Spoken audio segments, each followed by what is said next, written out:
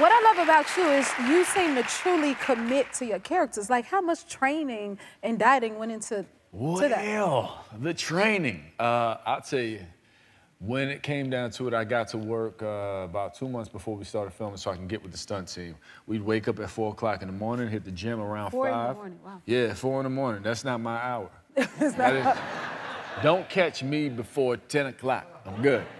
But 4 in the morning, we would go start, you know, bodybuilding from 5 to 8 in the morning. From 8 in the morning until 4 in the afternoon, we would do stunt training, choreography, flight stuff, harness stuff. So, you know, Wow. yeah. That's the result. Calm down. Get a hold of yourself. Jeez. Jeez. I mean, Get it together. Get it together.